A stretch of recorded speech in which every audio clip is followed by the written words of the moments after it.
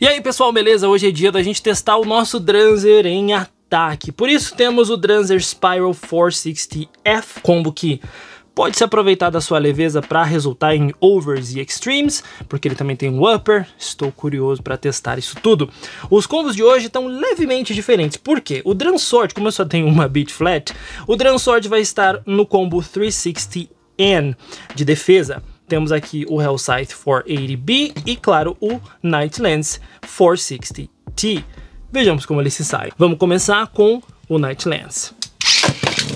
Eu estou muito curioso para ver esse Dance é agressivo.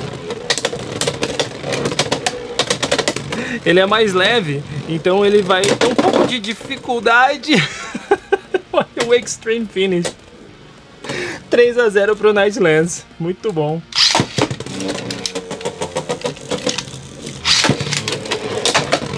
Oh, o Dranzer poderia ter conseguido. Hum, foi um over, mas foi uma tragédia essa primeira batalha.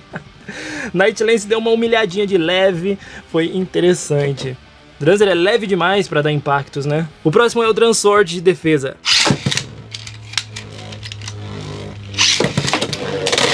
E aí? Vamos lá, Dranzer.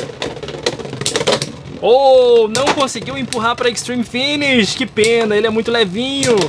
Transord dá excelentes contra-ataques, hein? Desestabilizando ainda mais o Dranzer. E ele cai. Tá 1 a 0.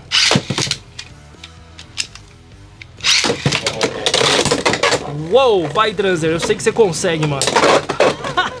Falei, olha aí, foi um, um spin finish, mas já valeu, tá 1 a 1.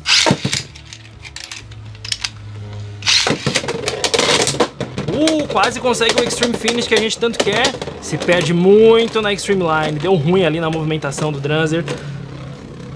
Vamos ver se ele... É, acho que ele não vai conseguir uma resistência aqui, né? Contra o tipo defesa, só se ele desestabilizar demais. Mas a rotação do Dransword estava boa demais. Ele teve a chance de conseguir um over, mas não foi o suficiente, tá? 2 a 1 um.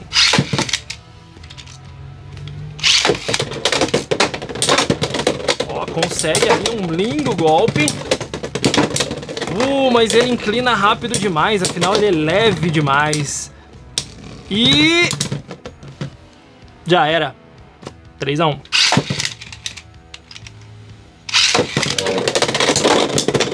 Olha aí, levou um burst. O oponente deu um contra-ataque tão potente que Dranzer simplesmente levou o seu próprio burst. Já era. Ele não tem um recuo interessante não, ele conseguiu simplesmente perder feio aqui pro Dransword. E o último é o combo competitivo que a gente tanto gosta de testar, vamos ver.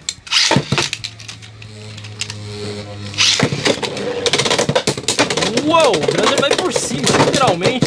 Nossa senhora, que, que, que round maluco. 1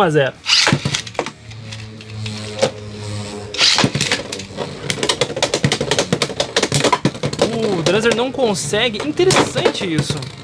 Linda pancada a propósito, mas eu tava pensando aqui.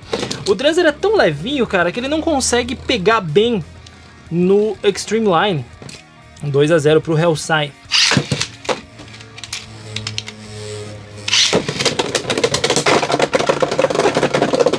Simplesmente jogado para over numa velocidade inacreditável.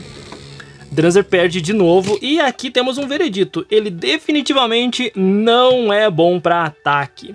Por enquanto, Dranzer se saiu melhor num combo de defesa, porque ele mantém a sua estabilidade no centro da arena e consegue causar uns contra-ataques interessantes. Bacana a gente anotar isso, porque ele é muito leve.